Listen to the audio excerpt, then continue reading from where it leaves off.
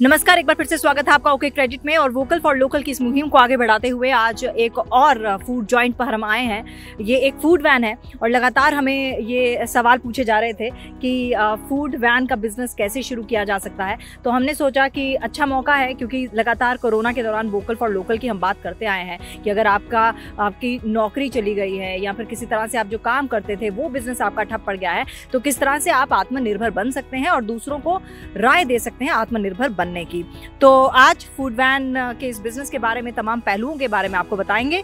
Video को and तक देखिएगा, पसंद आए तो लाइक कीजिएगा सब्सक्राइब ज़रूर कीजिएगा और हाँ कमेंट सेक्शन पे ज़रूर लिखिएगा कि आप किस तरह के वीडियोस देखना चाहेंगे। तो कई सारी चीज़ें हैं फ़ूड वैन से जुड़ी हुई कि फ़ूड वैन लगभग जब हम देखते हैं तो हमें लगता है कि कैसे अंदर का माहौल होता है, वो सब आपको दिखाएँगे। तो चढ़ना थोड़ा सा मेरे लिए डिफ़िकल्ट होगा। तो आप ऐसे जैसे गाड़ी में चढ़ते हैं, आप वैसे ही चढ़ सकते हैं। चलिए।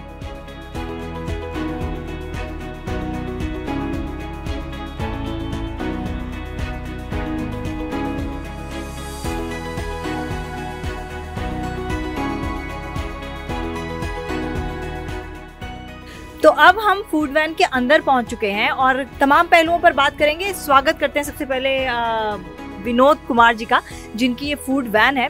और यकीन मानिए कई सारी फ़ूड वैन मैंने देखी है इतनी साफ़ सुथरी फ़ूड वैन मैंने नहीं देखी है। चाहे आप फर्श देख लीजिए चाहे आप ये स्लैब्स देख लीजिए सिंक दे, देख लीजिए हर चीज़ बहुत नीट एंड क्लीन है हाइजीन बहुत मेंटेन किया गया है। आप खुद करते हैं ये सब? हाँ जी मैम मैं खुद करता हूँ इस चीज़ को। बेसिकली तो मैं ड्राइविंग का काम करता हूँ। अच्छा। लेकिन जैसे अब बीच में लॉकडाउन लगा हुआ तो इस कारण ना गाड़ी चल पाई हम्म। ना कुछ था तो इस करके मेरे मन में विचार आया कि क्यों ना फास्ट फ़ूड का काम किया जाए। इस करके मैंने अपनी गाड़ी ले ली इस पर मैंने काम शुरू कर दिया। आपको लगता है कि आप आगे तक ये बिज़नेस लेके जाएँगे? हाँ बिल्कुल लेके जाऊँगा। जब तक मेरे से हो सकेगा तो उससे बहुत बढ़िया प्रॉपर तरीके से करने की कोशिश करूँगा मैं बहुत बढ़िया करने करूँगा वैसे तो। हाँ, तो कितनी लागत आपकी लग गई? लागत ये सारा काम इस टाइम मेरे को पौने दो लाख में तो तक पहुँच गया है। अच्छा ये गाड़ी आपने बोला कि आप ड्राइविंग करते थे तो ये गाड़ी स्पेशल बनवानी पड़ती है या कोई जो नॉर्मल गाड़ियाँ होती हैं वही है? बनवानी पड़ती है। कि मेरा फ्रेंड था तो मैंने उसको बोला कि मैं गाड़ी लेके आऊँगा तो उसको जैसे मैं बताऊँगा वैसे आपने उसको काट के उस तरीके से बनाना है तो उन्होंने वो जैसे बोला वैसे बना दी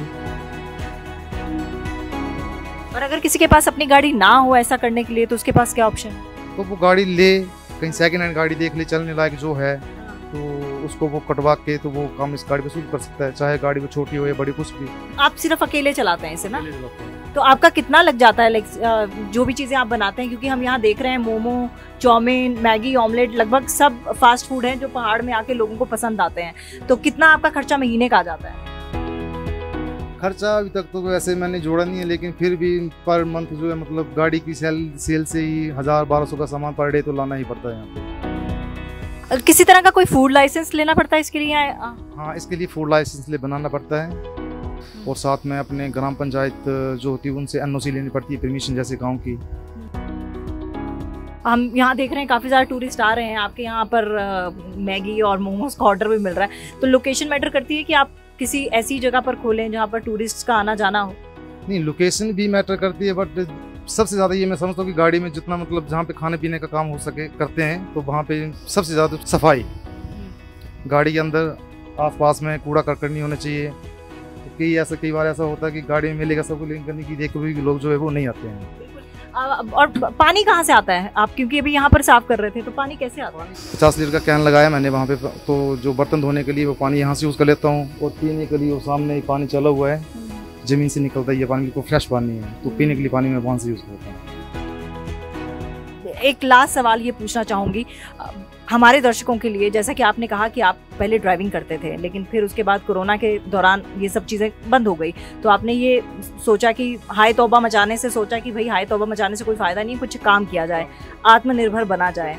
तो आप ये वोकल फॉर लोकल और आत्मनिर्भर, इस चीज़ को दर्शकों के सामने कैसे बताना चाहेंगे कि कैसे वो आत्मनिर्भर बन सकते हैं? सबसे बड़ी बात ये मैम कि जैसे कोई भी काम करना है अगर उस काम को लगन से किया जाए तो मैं सोचता हूँ कि वो काम हो जाता है। लेकिन शुरू करना मुश्किल है एक बार। जैसे शुरू कर दिया तो वो करना ही पड़ेगा और वो हो जाता है। तो विनोद कुमार हमारे साथ है जिनकी ये फ़ूड वैन है और मैं बार बार ये बोल रही हूँ कि इस फ़ूड वैन में बहुत साफ़ सफ़ाई है। पालमपुर से लगभग पाँच किलोमीटर की दूरी पर है। बाग नाला साइड पे बहुत बहुत धन्यवाद आपका। Okay credit. बिज़नेस ओके है।